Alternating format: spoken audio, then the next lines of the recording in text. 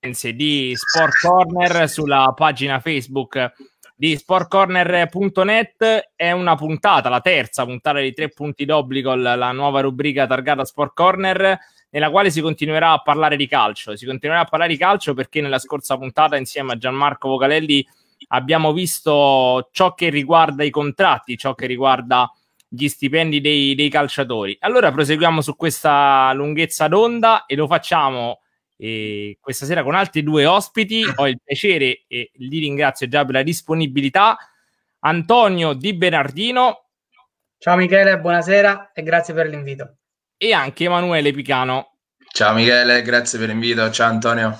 Ciao, ciao ragazzi, ciao. buonasera a voi. È un, un, periodo sicuramente delicato questo qui. Allora, per smorzare un po' l'attenzione, chiedo prima ad Antonio e poi ad Emanuele come state passando questi giorni. Beh, dai, diciamo che è un periodo abbastanza complicato e difficile, soprattutto a livello emotivo. Io personalmente sto, sto bene, così come la mia famiglia, sono a casa dal, dal 9 marzo e passo, diciamo, le giornate tra, tra libri, videogames, poi ovviamente come tutti i ragazzi della nostra età, film, serie tv e anche allenamenti per tenerci un po' bene a livello fisico. È necessario, secondo me, che non perdiamo di vista i nostri obiettivi, anche se viviamo praticamente in una bolla. I nostri obiettivi, che sono sicuro tra poco torneranno ad affacciarsi al nostro orizzonte. Emanuele? No, invece io diciamo, mi sono spostato da Roma a Gaeta, visto il blocco e il, diciamo, la restrizione nel tornare nel proprio paese, nel proprio domicilio. No, come Antonio, comunque serie TV, mh, mm, sto leggendo libri, alcuni libri che avevo lasciato in sospeso, poi sì, televisione si cerca di dare una mano in casa anche con la cucina, co, col tutto, dare comunque disponibilità. No, la fortuna che qui, almeno a Gaeta, diciamo, il coronavirus non ha mm, interessato molte persone, ci sono stati pochissimi casi, quindi si respira una certa tranquillità però diciamo speriamo tutti che finisca presto questo periodo per tornare appunto alle nostre vite di sempre e soprattutto per tornare a parlare e vedere di calcio non diciamo a una distanza meno sul campo e non via telematica. Beh, questo, questo sicuramente mi sembra anche doveroso, lo, amo, lo avevo fatto io insieme a Michele Luggeri nella prima puntata e ricordo per Gianni Mura due due scomparse, quella purtroppo anche di ieri di, di Franco Lauro, il giornalista della RAI di 58 anni, Gianni Mura ovviamente una, una colonna del, del, giornalismo italiano e non solo, e poi anche Franco Lauro. Eh, non so se ragazzi volete aggiungere, volete aggiungere qualcosa, proprio un piccolo magari aneddoto, un qualcosa che vi ricorda eh, i due giornalisti scomparsi.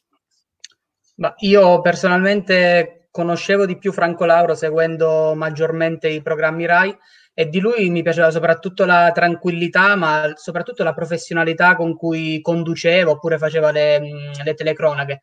Era un gran professionista, io penso fosse un gran professionista anche Gianni Mura che ha dato il meglio sicuramente nell'ambito ciclistico, ma, ma non solo, una grandissima firma, una persona che sapeva trovare sempre la frase giusta nel, nel giusto contesto io penso che, che gli accomuni una grande professionalità e che il giornalismo italiano abbia perso veramente due pezzi da 90.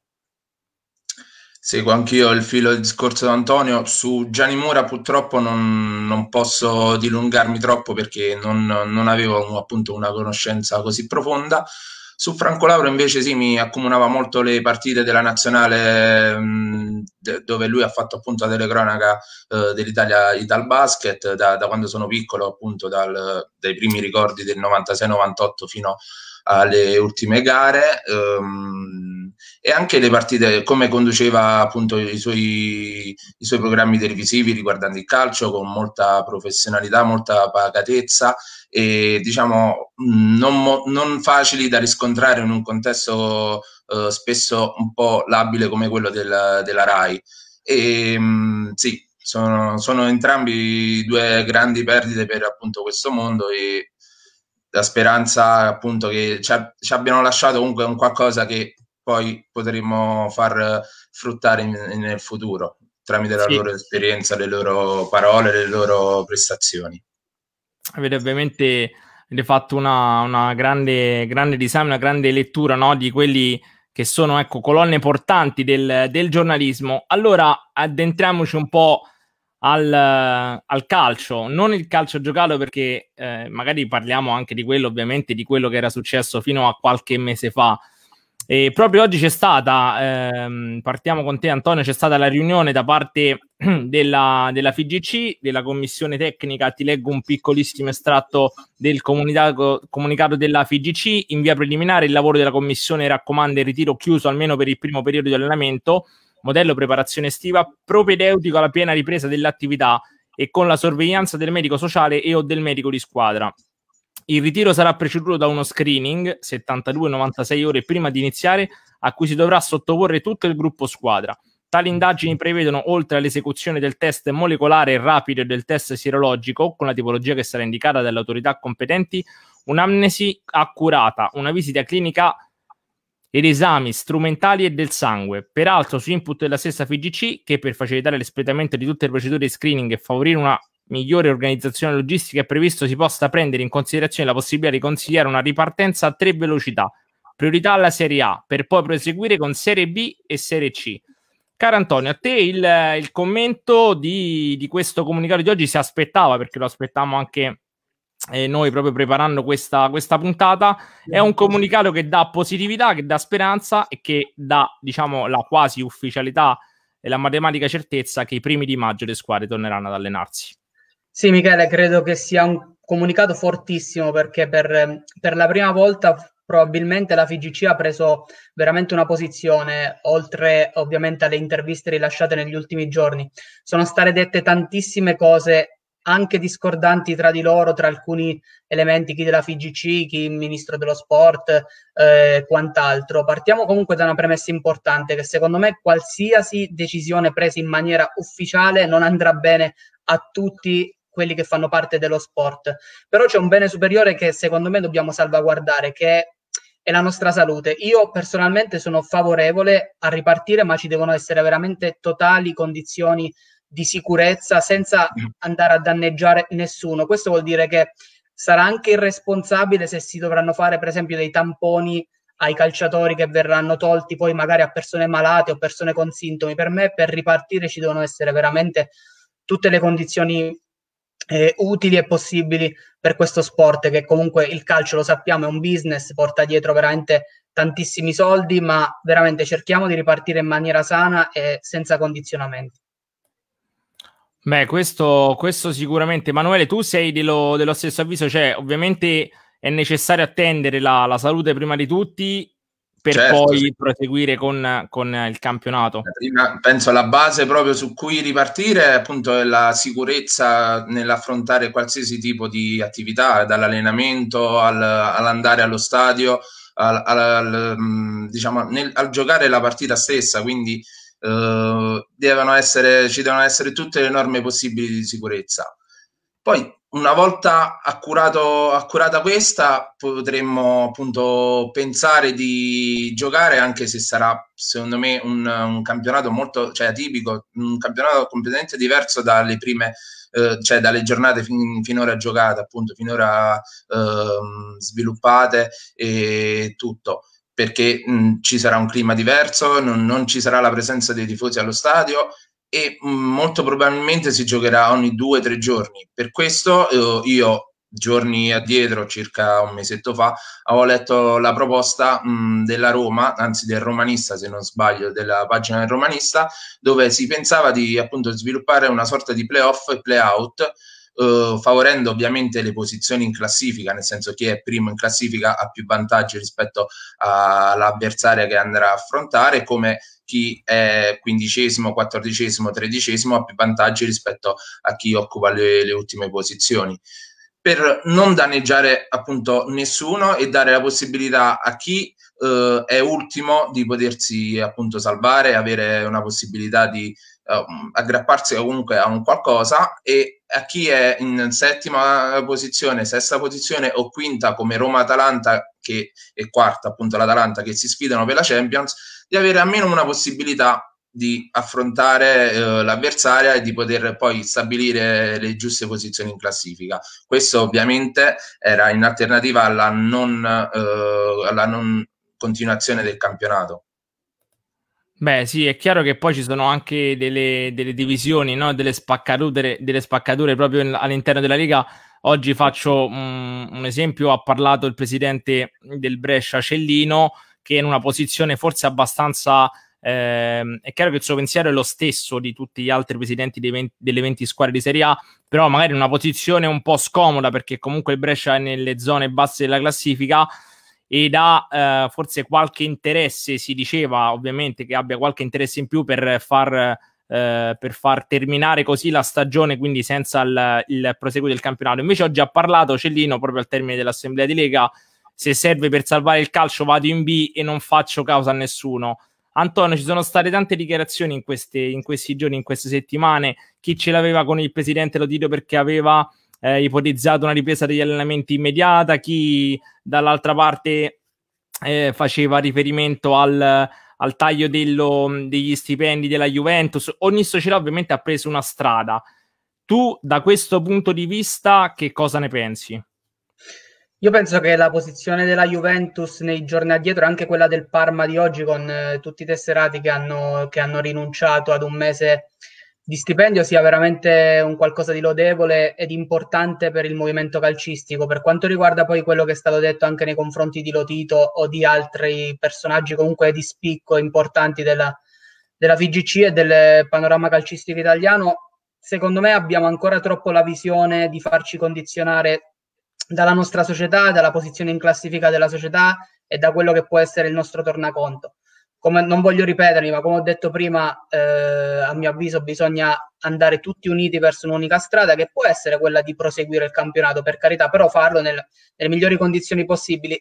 A maggio, secondo me, secondo, è ancora troppo presto per tornare ad allenarsi, perché poi noi siamo costretti qui ogni giorno alle 18 a seguire questo bollettino che è come se fosse un bollettino di guerra tra eh, morti, guariti e feriti, quindi parlare secondo me tra due o tre settimane, tornare ad allenarsi è ancora un po' prematuro, però non sono io a dover giudicare, c'è una commissione scientifica, ci sono veramente membri che, che sanno il fatto loro e quindi credo che riusciranno a giudicare nelle migliori condizioni possibili. Per concludere questa parentesi, Emanuele, eh, poi affrontiamo ecco, nei, nei, maggiori dettagli. Prima avevate parlato di, di, Inter, di Roma e parleremo proprio di questo tra poco, visto che sono le, le uniche due squadre, eh, oltre al Getafe ovviamente e al Siviglia, a non aver disputato l'andata dei, dei sedicesimi di, di finale di Europa League. Eh, Emanuele, negli altri campionati si sta prendendo, lo, ne parlavamo anche l'altra volta con Gianmarco, una piega un po' diversa, nonostante comunque in Italia ci sia stato eh, il, stato il primo paese europeo ad avere il boom no, di, di, questi, eh, purtroppo, del, della pandemia del coronavirus, negli altri campionati, faccio un esempio, la, la Germania, il Bayern e alcune altre squadre hanno ripreso a lavorare, hanno ripreso a lavorare divisi in gruppi. Eh, temi che secondo te ci sia eh, meno precauzione negli altri campionati europei?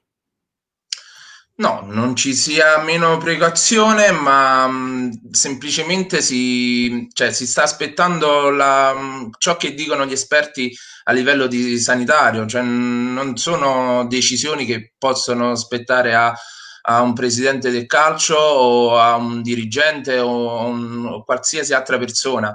Dobbiamo, cioè, secondo me, secondo, la mia, secondo il mio punto di vista, eh, fin- finché non ci sarà appunto una direttiva generale a livello appunto non solo italiana ma a livello europea appunto che in questo frangente si sta dimostrando, si sta dimostrando parecchie lacune di fare appunto una direttiva generale sul eh, dare il permesso uh, alle società di allenarsi. Magari di ti aspettavi una presa di posizione più importante da parte della UEFA? Certo, certo, io questo come a livello europeo politico, ma non voglio entrare in merito in quello, ci, ci, dovrebbe essere appunto una fermezza anche da parte della, uh, dell'organo principale del calcio, che è, la, che è la UEFA, a livello europeo. Chiaro, non, chiaro. Appunto, per me ci sono queste lacune che andrebbero appunto rimpia- eh, accumulate rimpiazzate. E allora abbiamo, addentriamoci, no? l'abbiamo detto, abbiamo parlato di, di UEFA, di Europa, caro Antonio, e qui, qui, in Europa c'era un giocatore che stava facendo faville, che è Haaland, un talentissimo eh, prelevato proprio dallo scorso gennaio dal, um, dal, Borussia Dortmund, ma dall'altra parte c'è un Atletico Madrid che è uscita, uscito dalla Champions League, eh, scusa, il Liverpool che uscito dalla Champions League proprio contro l'Atletico Madrid, i campioni in carica di Jürgen Klopp. Sì, due cose incredibili e assurde a modo loro che soltanto il calcio secondo me può regalarci perché un ragazzo di 19 anni che in questa stagione mette a segno 40 reti tra Salisburgo prima e Borussia Dortmund è pazzesco, ma anche pazzesco vedere la fame di gol che ha alla sua età. Io credo che sia stato un errore per, per i club italiani magari non averci puntato subito, però sono convinto che Alland abbia, abbia fatto la scelta giusta per, per, sé, perché anche l'ambiente e il modo di giocare sia della Bundesliga, ma soprattutto comunque del Borussia Dortmund, cre- credo che siano eh, l'ideale per farlo rendere al meglio. Per quanto riguarda Liverpool e Atletico Madrid, io ti voglio dire la verità, non sono così sorpreso, sia perché il Liverpool quest'anno ha concentrato tantissime energie sulla vittoria della Premier che manca da 30 anni, quindi ad Anfield sono tutti desiderosi di, di conquistarla, e poi soprattutto perché le squadre di Simeone contro queste formazioni molto offensive che comunque sì, sono forti in attacco, ma concedono degli spazi, riesce a dare, riesce a dare il meglio di sé. Quindi ormai Simeone, ormai l'Atletico non è più una sorpresa, una sorpresa europea e loro, ripeto, riescono a dare il meglio in queste situazioni. Quindi il passaggio del turno non credo che sia così casuale.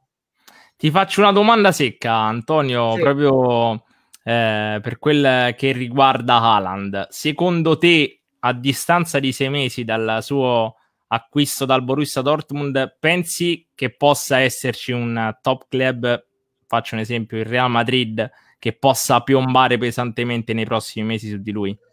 Bah, è normale secondo me che abbia tutte le attenzioni puntate addosso. In questo momento il Real Madrid sta anche cercando di, di, avere dei ricambi, un ricambio generazionale dopo aver vinto tantissimo, se ci pensiamo, negli ultimi anni con Benzema che inizia a avere insomma i suoi anni, la sua età e credo che quindi possa essere un profilo perfetto per questi, per questi top club. Eh, difficile sempre in qualsiasi caso puntare su un diciannovenne, a prescindere poi da, dai gol che fa, perché magari vai a giocare in una squadra come Real Madrid, Barcellona, eh, le pressioni sono altre, quindi bisogna vedere anche come poi riuscirà a rendere, però è sicuramente uno dei tre profili più apprezzati al momento in Europa.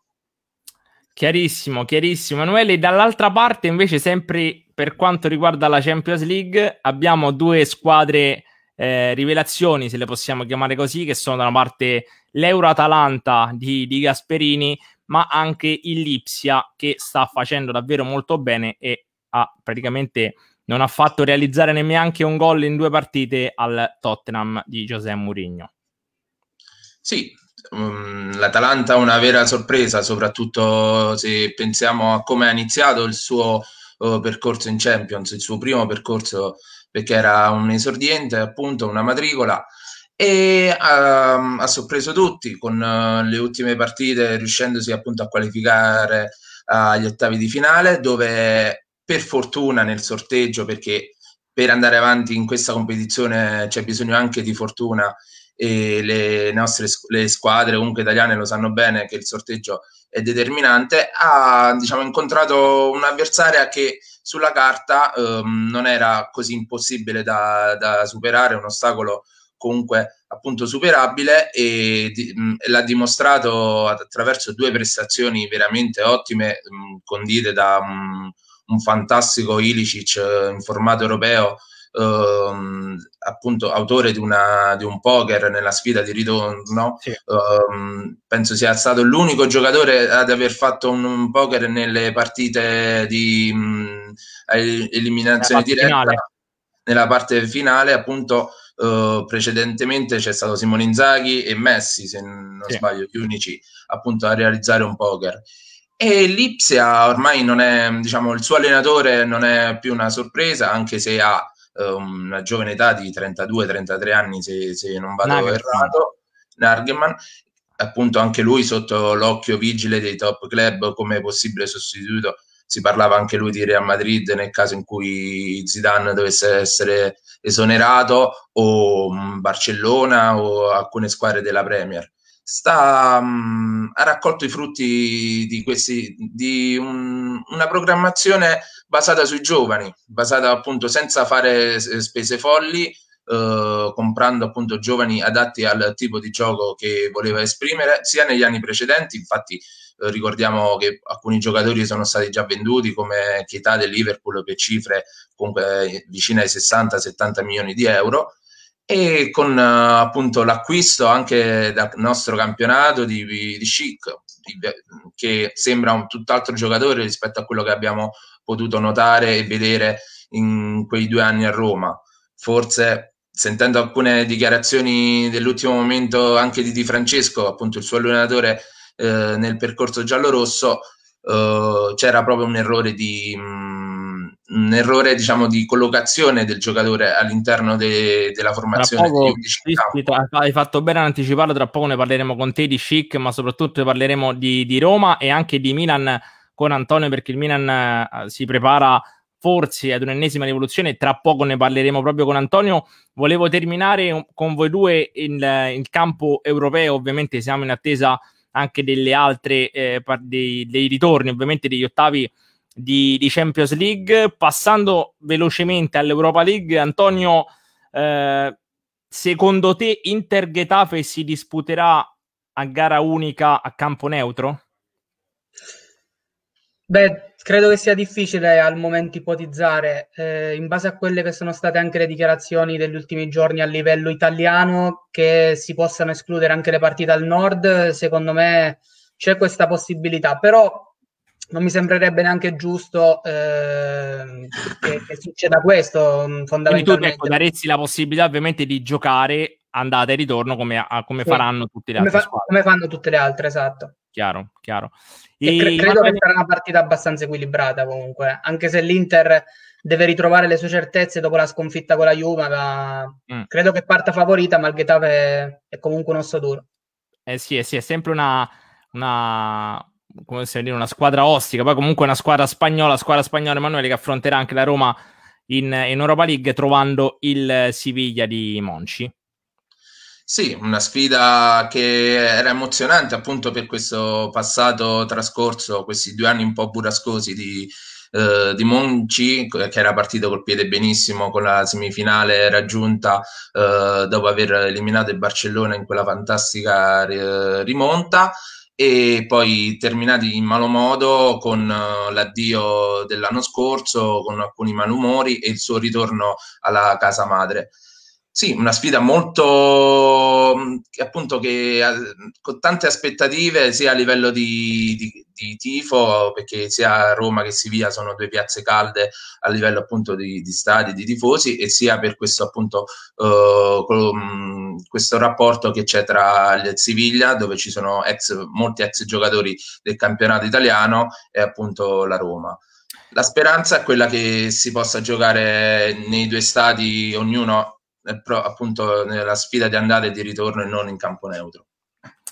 Preparatevi perché le ultime domande ve le farò poi verso la fine della puntata su chi vincerà secondo voi sia la Champions League che eh, l'Europa League. Allora andiamo un po' nel nostro campionato, il campionato italiano, dove eh, caro Antonio, con te vorrei affrontare meglio e eh, soffermarmi sul, sul Milan.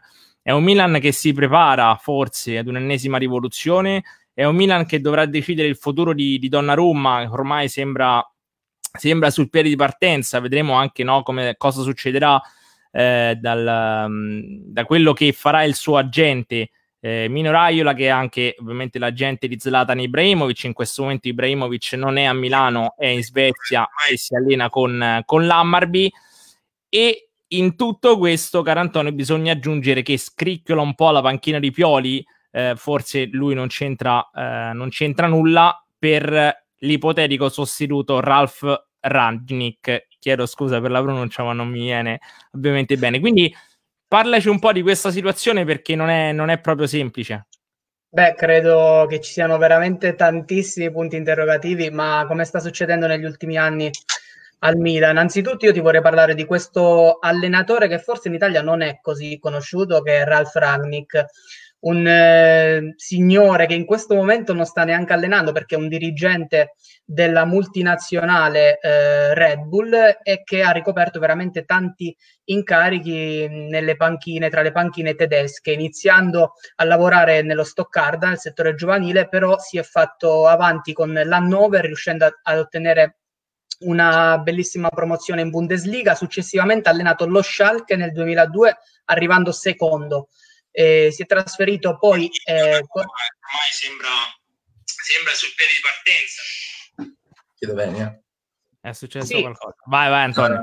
Vai, vai. Eh, dicevo che poi eh, successivamente si è trasferito all'Offenheim e qui secondo me c'è stato il vero capolavoro perché lui è riuscito ad impiantare il suo sistema di gioco. Nel giro di due anni sono arrivate due promozioni dalla terza divisione eh, tedesca alla Bundesliga e se lo ricorderanno bene, credo, anche i tifosi dell'Inter, perché nel 2011 ha eh, ricoperto il ruolo di allenatore dello Schalke. Sappiamo benissimo che lo Schalke vinse 2 a 5 a Milano e eh, arrivò addirittura in semifinale di Champions, vincendo quell'anno anche la Coppa di Lega. È un allenatore sorprendente, secondo il mio punto di vista, è un allenatore che quando ha studiato calcio si è legato moltissimo a due realtà italiane che sono Sacchi eh, con il suo Milan ovviamente e eh, il Foggia di Zeman, due realtà che hanno cambiato totalmente il calcio italiano e lui ha cercato di portare queste novità anche nel calcio tedesco, promuovendo una difesa a 4, cosa che in Germania era incredibile perché si giocava con il libero e eh, con la difesa a 3 e quindi impiantando un nuovo sistema di gioco. È stato per così dire, rivoluzionario.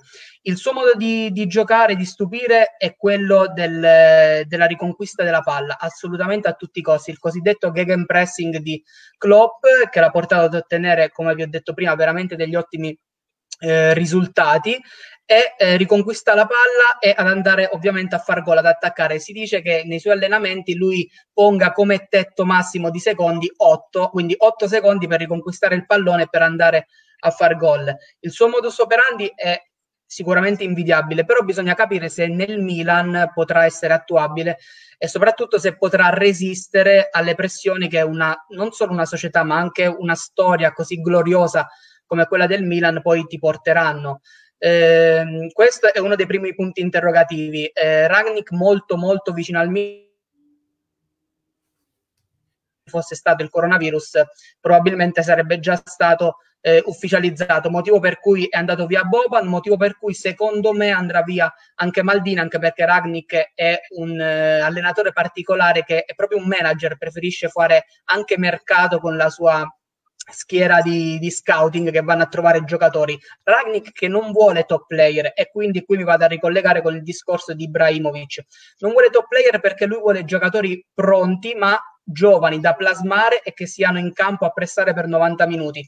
Ibrahimovic anche per un discorso anagrafico non può soddisfare queste esigenze, quindi secondo me eh, per un discorso non solo anagrafico ma anche di società Ibrahimovic alla fine andrà via dal Milan, così come purtroppo credo andrà via anche Donnarumma, contratti in scadenza nel 2021, 6 milioni all'anno, il Milan vorrebbe prolungarglielo ma a 4 milioni, ovviamente Raiola non è eh, di questo parere non è d'accordo e quindi secondo me le due strade si separeranno. Ora da capire se il Milan lo venderà quest'estate per fare qualche soldo oppure eh, dovrà aspettare un ulteriore anno per poi perderlo a zero ma averlo comunque nella prossima, nella prossima stagione.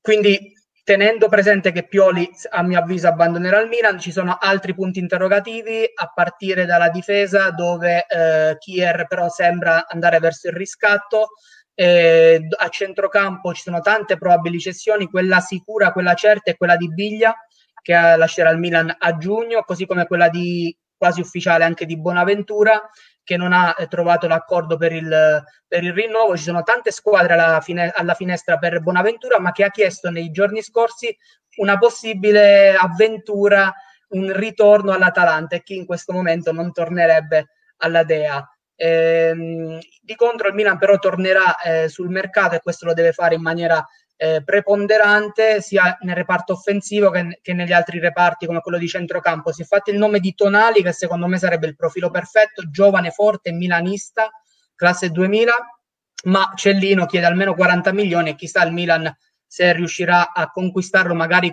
delle, proponendo delle contropartite come Pobega, giovane molto interessante del Pordenone che rientrerà eh, al Milan o addirittura Plizzari, ma lì c'è da fare un discorso anche collegato appunto a Donnarumma.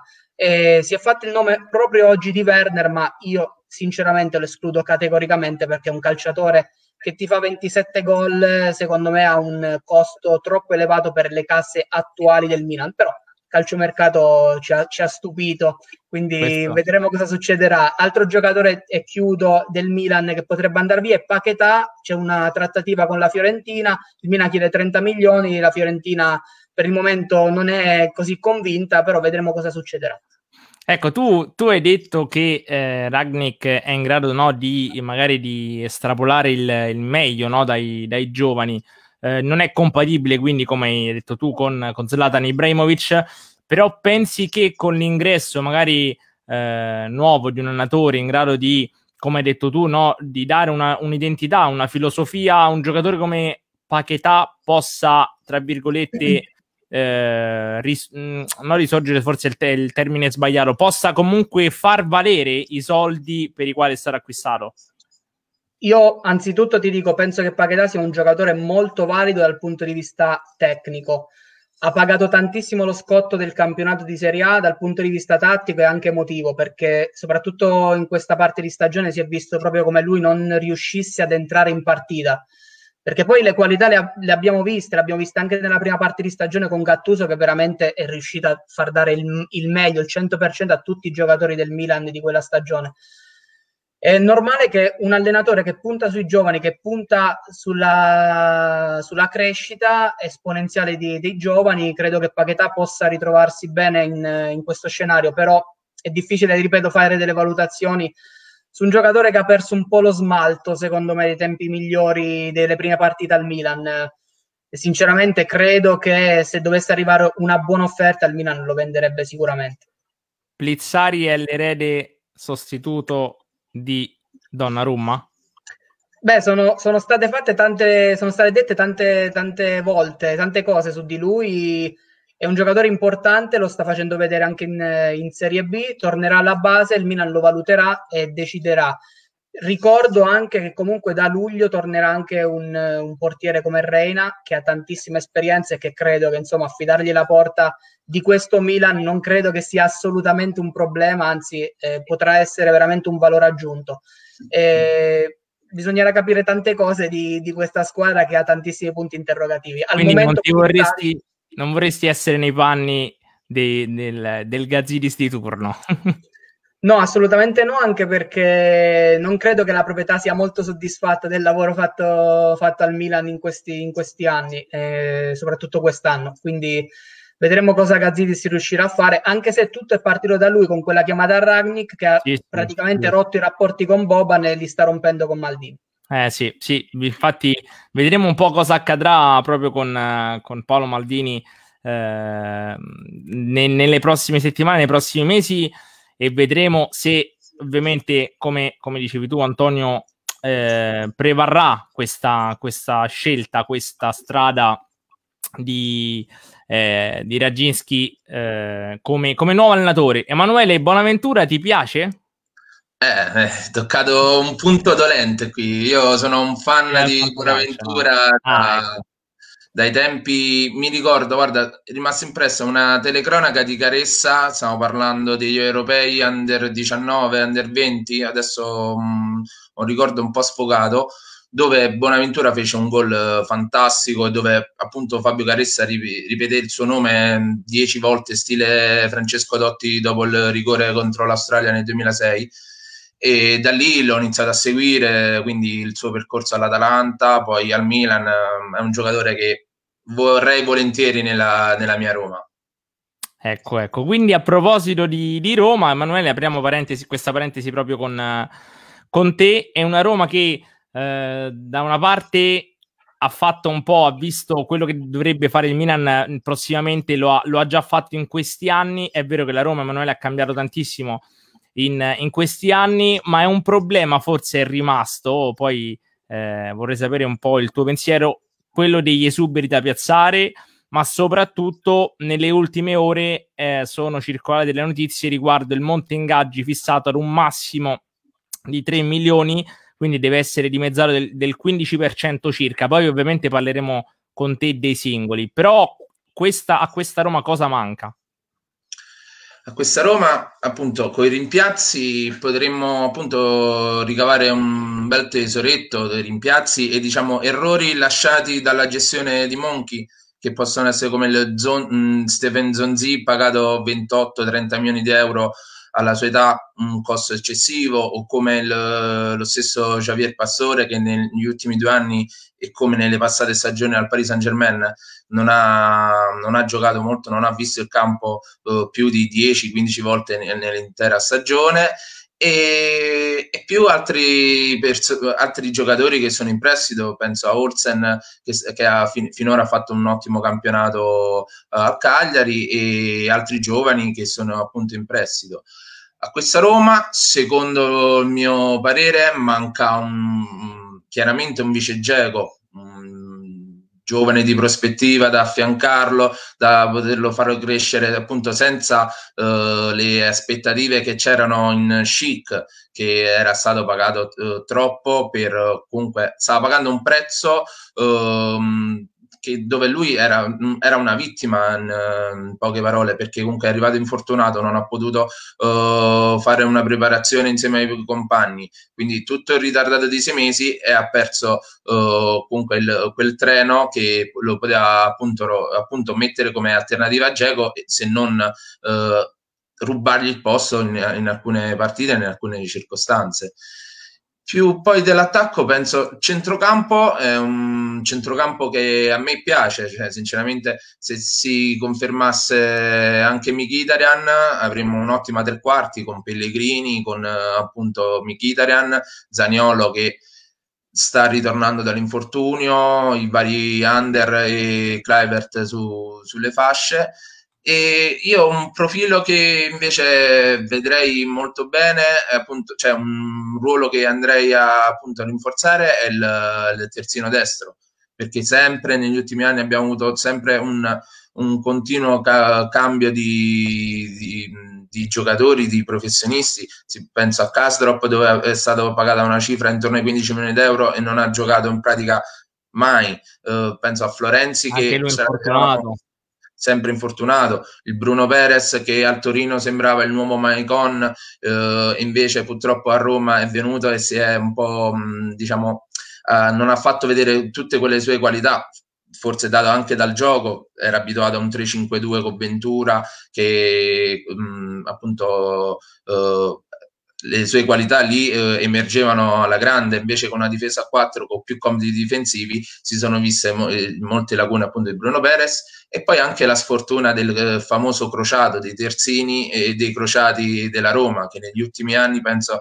abbiano interessato vado errato 10 un record assurdo e, e clamoroso penso, se penso a Florenzi due volte penso a Nura penso no, a, a Strottman penso a Rudiger penso a Emerson Palmieri a Zappacosta mm, la vincitore della primavera certo Castro, quello, quello sicuramente quello UA, sicuramente. Della, UA della primavera cioè uh, con la Fiori anche con la Fiori penso che una serie così di, di infortuni mm, non si era mai vista nella, nella storia del calcio e anche poi i vari infortuni che seguono Roma con, con i, i, vari rizzollamenti di Trigoria, ma sembra che il problema non sia né Trigoria né i campi. Forse è un so, salto al divino amore, magari tutti insieme. Forse sì, una preghiera tutti insieme perché non, non si riesce a capire qual, qual, è il problema, dove sia il problema. Antonio, ti piace Paolo Fonseca? Ma guarda, io ti dirò, volevo intervenire mentre durante il discorso di, di, Emanuele per dire che a settembre, ma anche ad ottobre in realtà, le prime partite che ho visto della Roma mi ha davvero impressionato. Cioè, non pensavo che lui riuscisse ad imprimere subito una impronta così forte all'interno di una squadra come la Roma. Eh, piace veramente un sacco, ti dico la verità, mi piace il suo modo di attaccare offensivo e credo che la Roma comunque abbia veramente una buona squadra mh, a livello offensivo, eh, a partire da Under che mi piace tantissimo come giocatore, a Geco che ovviamente non, non, scopro io, ad un giovane interessante di prospettiva come Cliver che comunque va in giro già da, da diversi anni e poi altri panchinari barra titolari come Perotti come può essere mh, un titolare assoluto secondo me sulla tre quarti potrebbe essere Pellegrini e poi non dimentichiamoci di Zagnolo che è il prospetto più interessante italiano, secondo me, di, di questi ultimi è, anni. Sì, ti hai detto bene, mi hai, mi hai tolto la, la, la, prossima domanda e riguarda proprio Nicolò Zagnolo. Eh, però faccio una domanda prima ad Emanuele. Emanuele, secondo te Lorenzo Pellegrini sarà il prossimo capitano della Roma? Guarda, io pre- ho sempre pregato che non ci fosse scritto Capitan Futuro né in Florenzi e né soprattutto adesso in Pellegrini, perché questa, questa etichetta a Roma vedo che non porta proprio tanta fortuna. Mm. Secondo me nell'immediato no, ma non, non per un qualcosa contro Pellegrini, ma perché nella Roma, nella rosa della Roma ci sono profili che più esperti, più adatti a, appunto, a ricoprire questo ruolo, a indossare la fascia e che non si tratta solo di indossarla la fascia, ma anche di eh, viverla, la, di essere capitano all'interno dello spogliatoio, all'interno degli allenamenti. E penso che Geco e mio parere, molti romanisti forse non saranno d'accordo, ma anche Kolarov hanno queste qualità eh, date appunto da, dal, dal, proprio carattere dalle proprie esperienze passate in, in, club importanti con vittorie, a differenza appunto di un Lorenzo Pellegrini che si, si è appena è, diciamo, un novello, si è appena affacciato nel mondo del calcio, del grande calcio, si spera sempre che faccia quel passo in avanti, quel passo da futura, futura promessa a un vero perno sia della Roma che del futuro della nazionale. Chiaro, chiaro, assolutamente sì. Antonio, cosa non è andato tra il Milan e Marco Giampaolo? Credo che la parola principale sia pazienza, perlomeno da persona che segue molto il Milan, perché Giampaolo è vero che ha fatto i suoi errori, eh, perché se tu impronti una preparazione su un modulo e alla prima giornata di campionato perdi malamente, senza ti rimporta, ti fanno una domanda e dici ok, forse devo cambiare modulo, allora sicuramente qualcosa hai sbagliato.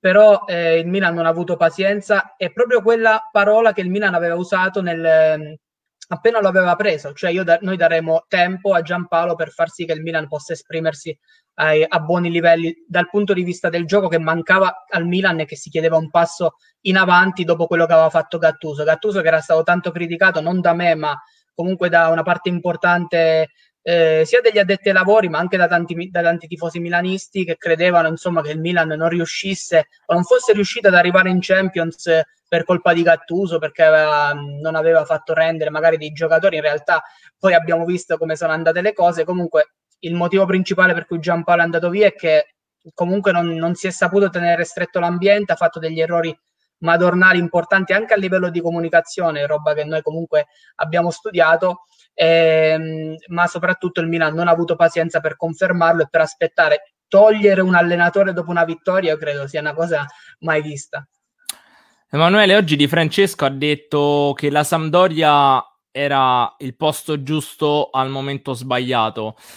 Che cosa ricordi di più, ovviamente, oltre alla, alla semifinale di Champions League con, con, la Roma? Secondo te non è, stata data ta- non è stato dato eh, il tempo giusto, anche se comunque la sua prima stagione l'ha fatta molto bene Eusebio Di Francesco a Roma? E quindi ti chiedo, secondo te perché qui a Roma c'è tutta questa pressione e perché la Roma per l'ennesima volta l'estate scorsa si è trovata di fronte a una scelta di cambiare un'altra volta allenatore? Allora, per me di Francesco, appunto, come hai detto tu, la prima annata è stata perfetta, se possiamo dirlo, almeno sul cammino europeo è stato un sogno che abbiamo vissuto tutti quanti e anche in campionato aveva dimostrato una solidità difensiva, un, un buon ruolo comunque camminava bene, andava bene, proseguiva bene nel suo percorso in campionato, arrivando terzo sopra squadre che erano sulla carta all'inizio del campionato erano uh, favorite rispetto alla Roma, come l'Inter di Spalletti o, o un, un, possibile anche Atalanta e, o Lazio. Il, il problema, secondo me, è come ha ribadito anche appunto Eusebio Di Francesco è stato il, quella rivoluzione in estate dopo la prima annata, quel, quei cambi, quel, quella trasformazione di una squadra che andava solo modellata, andava solo, um, diciamo, andavano presi pochi giocatori per eh, appunto eh, pochi ruoli, non stravolgere il tutto. Il vendere in Angolan, ok, ma poi è venduto in Angolan, è venduto Strottman, sono as- cioè, giocatori importanti anche a livello di spogliatoio, anche a livello di, eh, di carisma eh, nelle partite, negli allenamenti, è mancato quello. Poi l, l, il tiro e molla di Chic il primo anno oh, non ha aiutato, Marez è stato per quattro, due mesi, due mesi sempre accostato alla Roma, poi la Roma appunto si è ritrovata a prendere un giocatore fuori ruolo, come appunto parlavamo prima. Il secondo anno la stessa cosa, il pastore della situazione, non, non, non ricordo nessuna squadra di, di, Francesco che giocasse con trequartista alla pastore. Sempre, gioca- sempre un 4 3 3 sì, come, come tu acquisti, acquisti sbagliati. Zonzi e Pastore, perché appunto cioè, non, io mi ricordo sempre di Francesco con giocatori dinamici, con giocatori di corsa che avevano sì un, un buon piede, ma comunque che erano improntati a quel tipo di gioco e Strottman e Angolan erano perfetti per il suo gioco. Zonzi e Pastore assolutamente no. Intanto salutiamo chi ci sta guardando, Antonio, Luigi, eh, Erika e Caterina. Antonio, c'è una domanda per te da Luigi, te la mostro in diretta se ci riesco, eccola qua. In ottica fantacalcio sarebbe giusto tenere Bonaventura?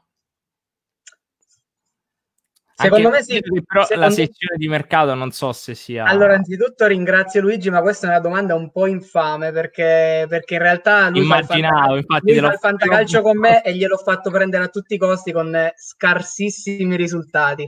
Però in ottica fantacalcio manageriale, perché noi facciamo anche un fantacalcio manageriale, quindi improntato su più anni, secondo me tenere Bonaventura può essere una mossa giusta perché cambia la squadra. Ah, quindi, ecco, ecco perché mi, mi, sembra comunque che lui potrà fare bene. Quest'anno sono mancate un po' le motivazioni a Bonaventura, dico la verità, non l'ho visto ai livelli degli anni, degli anni passati.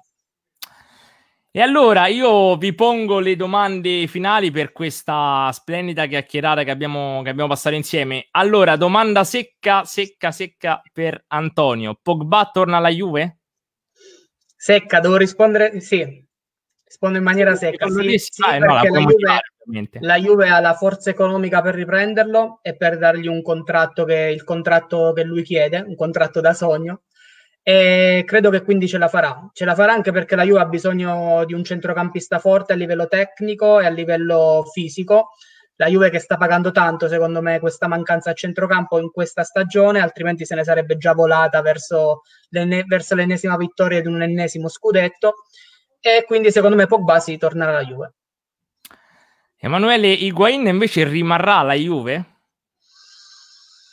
Mm, dipende dai cardi, dipende tutto. Io sono convintissimo che ci sia un accordo tra Paratici e Vandanara da, dall'anno scorso. Non volevano prendere la via diretta da Milano a Torino, ma hanno voluto appunto fare questo Quindi percorso un po' escludi, più lungo di Parigi. Escludi sì. la permanenza di Icardi al Paris Saint Germain? Sì, secondo me sì, secondo me Icardi è un promesso sposo alla Juve, hanno solo ritardato di un anno appunto questo matrimonio, questo accordo. E ci vedresti bene Guardiola sulla panchina della Juve?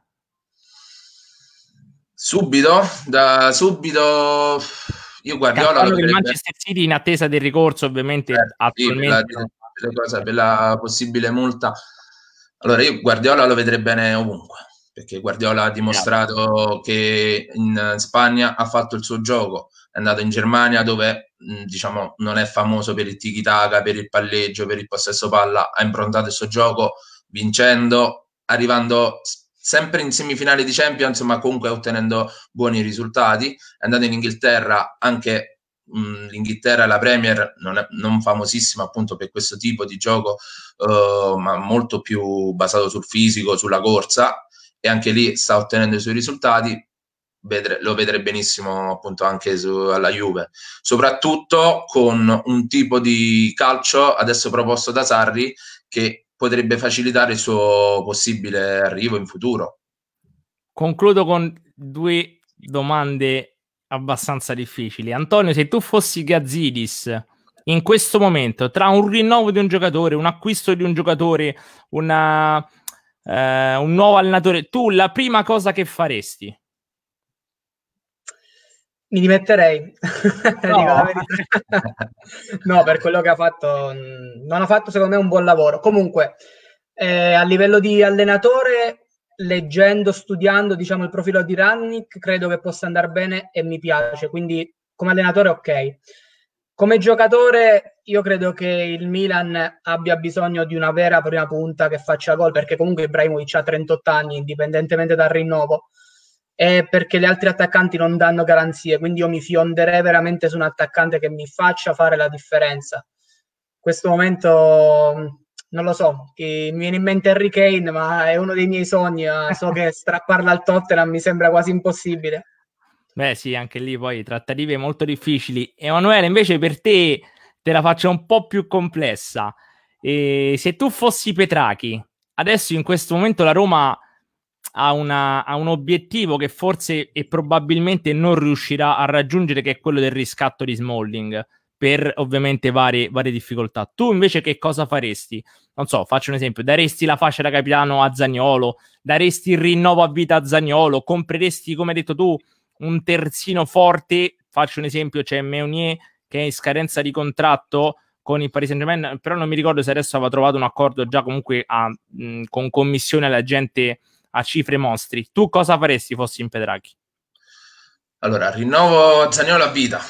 Zagnolo per me è un crack, è il futuro del calcio non solo della Roma, cioè ora della Roma, non solo del calcio italiano, ma anche del calcio europeo perché ha un, delle qualità che sono difficili da riscontrare in qualsiasi altro giocatore per forza fisica, per, uh, per il sinistro, che comunque non ci sono molti mancini appunto nel mondo del calcio, uh, per la tecnica che ha, per, per, la capia, per la caparbietà, per tutto quello che comunque ha messo, ha fatto notare e ha mostrato in questi suoi anni. Io no, io sul terzino destro, io non sono sempre stato del, del, parere di spendere tanto sui terzini, perché sui terzini l'ha dimostrato comunque la storia del calcio, I, i grandi terzini non sono stati pagati mai cifre assurde, se penso a un Maicon che sia arrivato dal, da sconosciuto, penso a un Cafu, penso a Roberto Carlos addirittura scartato da, dall'Inter, penso a, a un Marcelo che era un semplice, cioè un giocatore comunque sì, proveniente dal Brasile. Io se fossi appunto Pedraghi, la prima cosa a parte Zaniolo è Smalling, perché Smalling può far crescere in una maniera molto promettente, una maniera interessante uh, Mancini che all'inizio ha avuto qualche problema, ma con alcune accortezze sta dimostrando di essere il futuro uh, della nazionale italiana che abbiamo bisogno, perché dopo Chiellini, Barzagli che ha mollato, Chiellini siamo lì, siamo negli ultimi anni di carriera. E Bonucci comunque, siamo lì. non lo voglio nominare Bonucci ma eh, siamo, cioè, stiamo andando verso i 32-33 anni quindi anche lui ha bisogno di un ricambio. Penso eppure vedendo anche che i vari Caldara, i vari Rugani non hanno mai convinto del tutto uh, Romagnoli a, a fase alterna abbiamo bisogno di, di un centrale per il futuro della nazionale chi il terzino se lo deve tenere, e con questo concludo, stretto Antonio e il Milan con, oh, con Teo Hernandez, no? Credo Questa sia stato per distacco il colpo migliore degli ultimi anni del Milan, perché una facilità di corsa e poi di, di calcio, di conclusione incredibile. Sei gol, ma ne poteva fare almeno altri 3-4 tranquillamente. È la dimostrazione che dicevo io, infatti. Hernandez non è stato pagato cifre assurde come Kolarov, adesso mi è venuto in mente, è stato pagato 3 milioni e il rendimento, quindi complimenti a Maldini per Hernandez. E allora ve l'avevo promesso: chi vincerà la Champions League e chi vincerà l'Europa League? Vi metto anche in primo piano, così magari se vi registrano poi possono eh, ricattarvi. Vai, Antonio. Posso dirlo? Vai, vai. Juventus. Juventus Champions League, attenzione. Europa League? Eh, Europa League io vedo bene, purtroppo per, per te per te, Emanuele, vedo bene il Siviglia. Tu invece, Emanuele, cosa rispondi ad Antonio? Io rispondo, la Champions eh, per me siamo se la giocheranno City e Juventus. Perché la Juventus, ma non perché per scaramanzia oppure per sfottere a qualcuno, ma a, un, a, quel giocatore che è determinante che è Cristiano Ronaldo e il City a quell'allenatore che è determinante che è Pep Guardiola. E per l'Europa League, se ripeto, se il campionato non ha più niente da chiedere per l'Inter di Conte, secondo me i nerazzurri saranno i possibili, i, i probabili giocatori, cioè vincitori dell'Europa League, per qualità della rosa e qualità dell'allenatore. Anche Quindi se avete- in Europa Quindi non avete nominato il Manchester United, non vi fa paura in Europa Ora, League. come ora, mm, no, poi è una mina vagante lo È Trafford. chiaro, è chiaro, è chiaro, certo, certo. Magari Come- potrebbe come- vincere al Wolverhampton, che comunque è sempre una signora squadra. Cioè, come direbbe un mio amico, il Manchester è un minestrone di tanti giocatori forti, ma dove ci sono tanti galli non si fa mai giorno. Ecco fatto. E allora io saluto e ringrazio Antonio Di Berardino, Grazie a voi. grazie anche ad Emanuele Picano. Grazie, grazie a voi. Un saluto a tutti gli ascoltatori. L'appuntamento è per sabato con Flavio Baglioni per quanto riguarda il tennis. Buona serata a tutti. Ciao, buona serata. Ciao.